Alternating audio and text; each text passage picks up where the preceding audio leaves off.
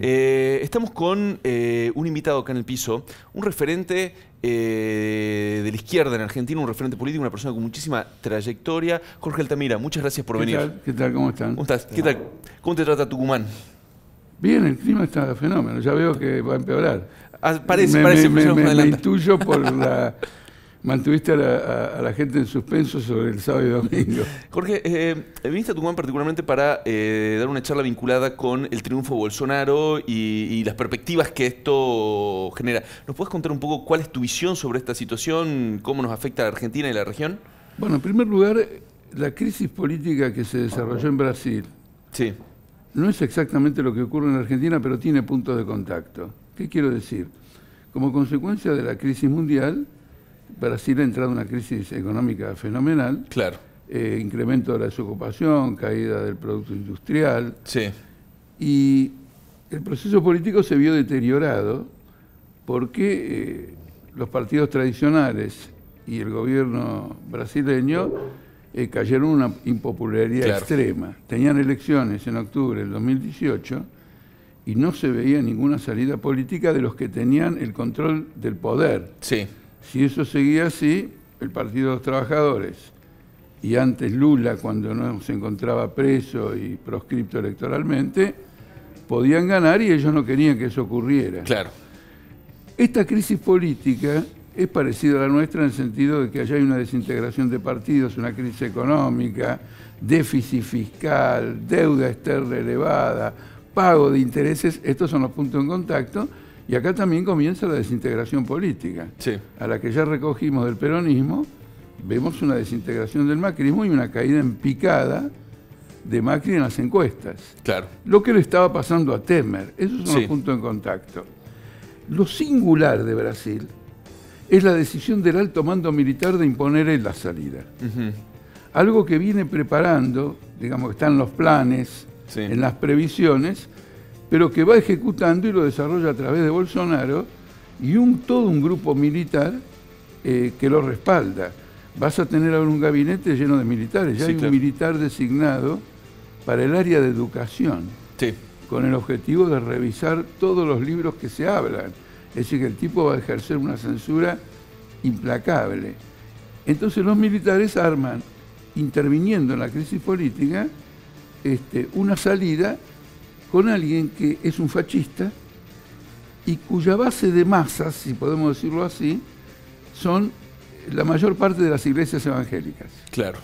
que nosotros también vemos en Argentina el desarrollo que tiene Sí, sí, que crecen cada vez más, ¿no? crecen y entonces le han servido de sustento plataforma para pasar de un 15, 20% de los votos, llamar la atención y un gran operativo comunicacional del ejército que lo propulsa Sí. En esa dirección. De modo que cuando el electorado va a las urnas, ya tiene condicionadas las alternativas políticas Claro. Por fuerzas que son extrañas al electorado. Jorge, en, en base a lo que vos, todo esto que estás enumerando eh, y que tiene muchos puntos de contacto con Argentina, eh, yo la, la- la verdad no conozco cuál es la, la situación de las Fuerzas Armadas de Brasil, pero acá en Argentina, eh, ahora con todo lo que pasó con la Guerra de San Juan, quedó a, a la vista que están muy deterioradas, prácticamente Sí, sin ese es un presupuesto. punto. Eh, eh, es, eh, ¿Crees que acá en Argentina pueden tener cierta fuerza también como para imponer un candidato como vos decís que pasa en No, Brasil? no, claro. Hay- una diferencia sustancial. Brasil no perdió la guerra de Malvinas. Claro. ¿Se entiende? Eso es muy importante, es una, un antes y un después en este desarrollo. Pero vos observar lo siguiente, desde que Alfonsín hizo el punto final de la obediencia de vida, Menem el indulto y Cristina Kirchner con el nombramiento de César Milani, Sí. ha habido sistemáticamente un intento de reconstruir todo eso, o el dos por uno. Es decir, abrir ese terreno. Y acá te quiero enseñar algo que quiero que la opinión pública le preste atención. Estos ejércitos, tanto el nuestro como el brasileño, ejercieron un entrenamiento represivo agudo, encabezando el ejército de países latinoamericanos que fue a pacificar Haití. El comandante en jefe brasileño ahora lo nombró ministro de Defensa. En Brasil y en Argentina tenés prohibido por ley hacer espionaje interno, eh, que el ejército reprime y todo lo demás. Se entrenaron en Haití. ¿Quién envió las tropas argentinas a Haití? No te, no te- no te lo que-. ¿Quién mandó? ¿Quién firmó el decreto que diga el ejército argentino va a Haití? ¿Y eso fue durante el gobierno kirchnerista, o no? Claro. Claro. Entonces, papá, escucha bien esto, Bolsonaro sale y la militarización sale de decisiones tomadas por el gobierno kirchnerista. ¿Y en Brasil quién las mandó? Eh, ¿Y Lula? Lula. Claro. Es decir, que estos movimientos que se jactan de autonomía, de independencia, de democracia, son el huevo de la serpiente. Se crían ahí adentro y Claro. terminan. Vos sabés que las fuerzas de la, de la ONU, de América Latina, Haití están eh, eh, sí, de América Latina, están acusadas de abusos sexuales, Sí, violaciones sí, de sí, niños. una- es un- es un- es una, una noticia que corrió, ¿no? Bueno, de ahí sale el operativo militar este en, en- en- en Brasil. Sí. Quiero llamar la atención. Entonces, el mensaje al, pueblo argentino es que ante una crisis de envergadura de este tipo, tenemos que evitar que la iniciativa la armen desde arriba, eh, los poderes políticos, etcétera, y la crisis la tenemos que resolver desde abajo. Es decir, nosotros pretendemos con el Frente de Izquierda y el Partido Obrero de ser la iniciativa política que le dé una solución al derrumbe económico del pueblo trabajador y que le dé una solución a todo este impas político. Porque el peronismo está votando el programa del FMI, de lo contrario no hubieran tenido la aprobación del presupuesto. Claro. Jorge, ¿cuál es la, la autocrítica que se hace la izquierda en este contexto en el que de eh, la mayoría de gobiernos latinoamericanos que estaban eh, cercanos al populismo, ahora están mirando hacia eh, gobiernos de centro, centro-derecha, eh, y por ahí la izquierda no logra salir de ese lugar con este, este, pocos votos en general? No, en primer lugar separemos la izquierda PT o la Cámpora de lo que es el Frente de Izquierda. Yo te pregunto por el frente de izquierda. Claro, porque tanto en Brasil como en Argentina trazamos una línea divisoria completa. Sí, sí, sí. Nosotros no somos partidarios del acuerdo con Chevron, ni de arreglar con el Club de París, ni entregarle el petróleo a Repsol, ni lo de Lula, que nombró presidente del Banco Central al presidente del Banco de Boston. Claro. Entiendo, ¿Está entiendo. claro Yo no? me refería a ese No, sector. entonces en un primer punto reivindicar para nosotros la eh, haber previsto y haber señalado anticipadamente que este iba a ser el desemboque de estos gobiernos. Cuando lo hicimos en su momento, ¿cuál era la reacción de mucha gente? Estos son una secta. No les gusta nada, che viejo. Una que, le- una que les caiga bien. Mirá en qué terminó. Entonces, en primer lugar, una reivindicación. La crítica, y la hago sistemáticamente en los medios públicos, yo soy partidario de ventilar todo. Como nosotros queremos la democracia, hay que empezar por transparentar también cómo vos llegás a una decisión. Y no después decirle al pueblo qué decisión tomaste. Es que hay un flirteo, eh, ¿cómo te puedo explicar? Hay una pasividad en presentar a la izquierda como alternativa de poder. Y probablemente porque digan, bueno, sos el 3, 4, 5% de los votos. Pero Bolsonaro era el 0,2. Es decir, en política no son los votos que acumulaste antes, sino la iniciativa que podés tomar en una crisis política la que determina esto. Nosotros en esta crisis política estamos diciendo, mientras Macri siga gobernando con sus cómplices como Mansur, como este, los diputados peronistas y todo lo demás, eh, van a destruir la Argentina.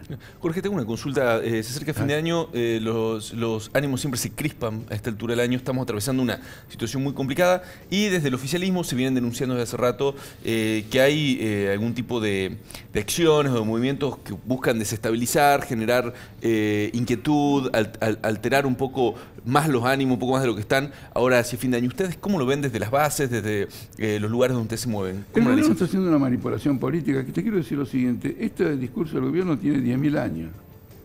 Desde Egipto, cuando los de abajo protestaban contra la regla, decían, bueno, esto es subversión, desestabilización.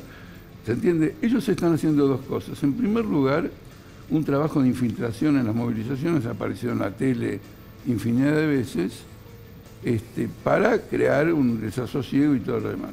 Y en segundo, instalar la idea de que el pueblo no tiene derecho a rebelarse. Que si quiere abrir la boca, espere dos años cuando se vota. Mientras tanto, si te echan de laburo, te bajan el salario, eh, los edificios escolares se vienen abajo, aguantátelas. Acá vos abrís la boca en octubre de los años impares. Eso es inadmisible. los regímenes constitucionales no fueron solamente hechos este, para frenar a la gente, también consagran una serie de derechos y libertades como protestar, manifestar y actuar. Tienen que respetar, obviamente no lo van a hacer, el derecho a la rebelión popular. Si a mí me meten la mano en el bolsillo, me destruyen la posibilidad de desarrollar una familia, mientras una élite empresarial desfila por Comodoro Pi, por chorra colectiva, de los fondos públicos, de las obras públicas, etcétera, etcétera. Y Macri, en lugar de decir subversivos, ustedes están socavando mil años de cárcel, le están elaborando una ley de amnistía. Y el otro diciendo, sos un arrepentido, y bueno, quedas libre. Es decir, que hay dos medidas acá. Dos pesos, dos medidas. Si vos sos de la élite empresarial, te podés saquear un país y al final vas a quedar afuera. Como va a quedar afuera ahora el presidente de Odebrecht en Brasil. Pónganle, cuando lo, cuando lo liberen, llámenme ¿eh? y me cobran este, esta discusión que tenemos esta mañana. Entonces la indignación es evidente. Frente a esa realidad, vos tenés que apoyar que el pueblo se revele, que se aumenten los salarios. Este, este Bolsonaro ya dijo que va a privatizar las jubilaciones. Eso todo el diablo. Y acá, este, Macri también quiere aumentar la edad jubilatoria, eh, sacarle la plata al, Fondo de Garantía del ANSES, eh, privatizar. te hago una última pregunta. Em, estamos hablando de eh, corrupción a nivel político, em, de, políticos y empresarios que desfilan por tribunales. Acá en Tucumán, particularmente, lo que está viendo es una guerra entre bandas narcos que están afectando casi todos los barrios de la periferia de Tucumán. Muchos muertos, mucho miedo, mucha inseguridad. Ustedes que, militan con, bueno, con, mucha gente que, que, vive este tipo de realidades, ¿qué les llega? ¿Qué, creen que se puede hacer? Este, ¿Y cómo habría que actuar en este tipo de casos? ¿no? Bueno, por lo mismo que decís vos, de que estamos ahí y todo lo demás, hace años que el tema de la seguridad de los barrios nos, nos eh, conmueve la cabeza. Porque en el siglo XIX, cuando males de este tipo arrasaban, los socialistas de aquella época, tomaban la tarea de organizar los barrios, organizar los sindicatos y la clase obrera asumía el control que no asumía el Estado.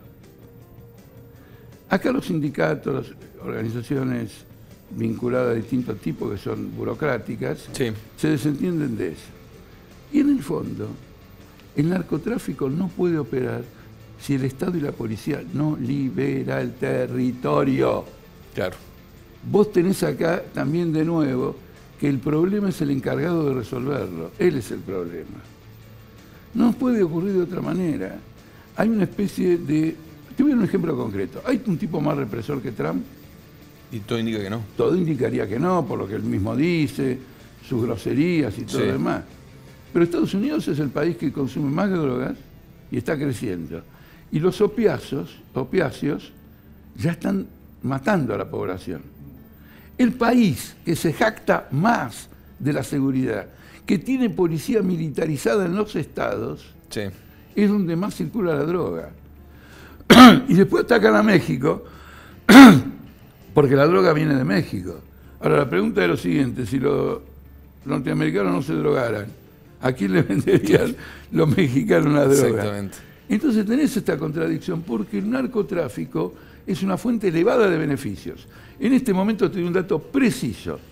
El banco Danske de Suecia o Noruega, creo que de Suecia, está siendo intervenido por gigantesco lavado del dinero de la droga. Es una fuente del negocio bancario. Y el negocio bancario cuenta con el secreto bancario. Y bueno, está todo armado. Está todo armado para que prospere. Yo como primera medida, digo, un gobierno de trabajadores, primero levantamos el secreto bancario. Abrimos todas las cuentas de los bancos y de ahí para abajo arrancamos, siempre tratando de que se organice el pueblo y tome conciencia de este problema. Somos furiosos enemigos de la drogadicción. Mirá lo que te voy a decir, porque te lo voy a decir en forma doctrinaria, esa forma que mucha gente dice, ay, este es un izquierdista, mira cómo habla. Te lo voy a decir adrede de esa manera. La drogadicción es un arma del capital para destruir a la juventud trabajadora. Bien. Jorge, muchísimas gracias. ¿eh? Por favor. Gracias por